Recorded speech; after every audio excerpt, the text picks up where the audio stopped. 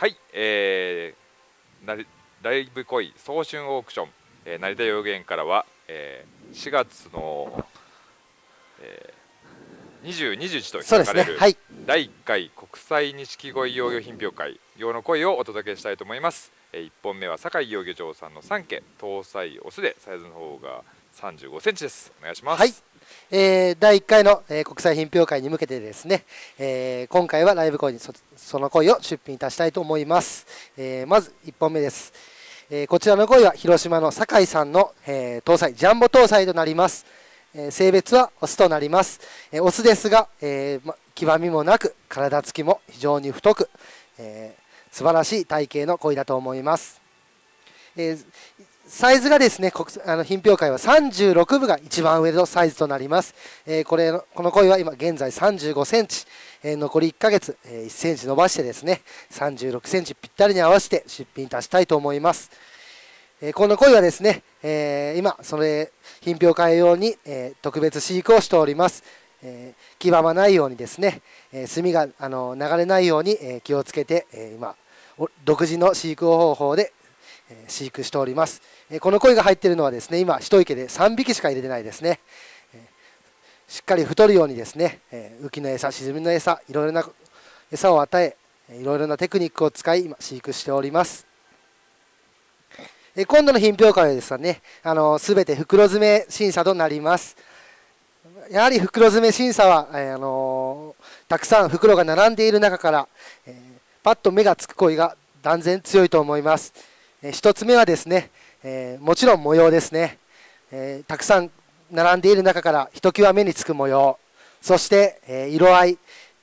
パッと見、え色がしっかり赤い、まあ、しっかり照りがある。そういうイメージの鯉が強いと思います。そして墨もですね、えぼやけている墨ではなく、えしっかりとした決まった墨それが強いと思います。そして、え体幅も細い鯉よりかは太い鯉の方が断然強いと思います。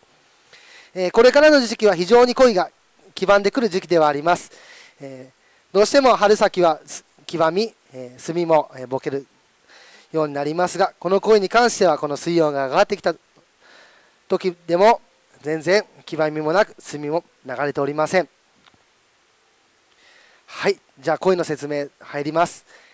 えー丸点模様にそして華やかな模様白地から出るこのバランスの取れた墨墨模様が大変いい声だと思います。そして、えージャンボ搭載、えーしっかり伸びてますが対抗もあり幅も目幅もしっかりあります。非常に太みのある鯉です。紅もしっかり上がり肌もスカッと抜けております。非常に期待している一匹ではあります。なかなかねその36部というのがそうですね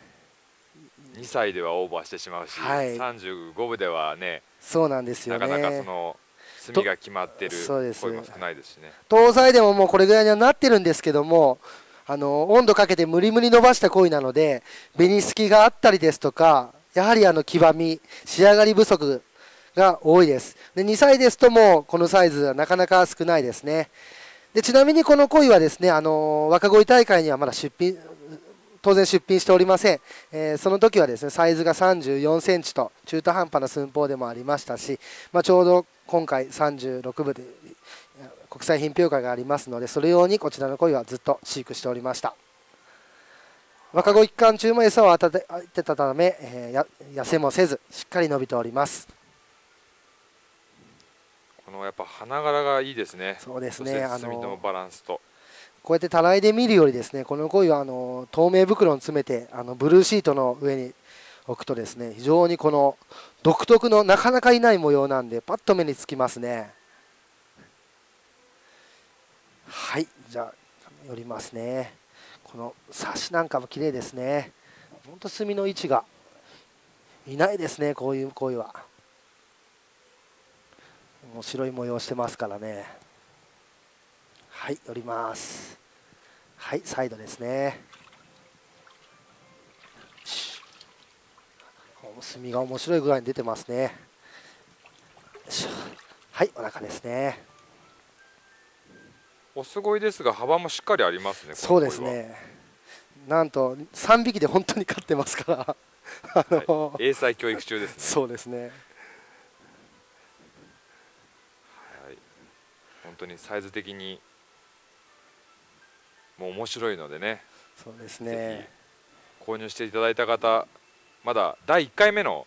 品評会なのでうん。それほど出品数もないかもしれないので。そうですね。まだ予測がつかないですけども、いいとこ行っていただ行ってくれるといいですね。そうですね。期待はしてあの毎日飼ってるんですけどねこの声はまあ本当に品評会に限らず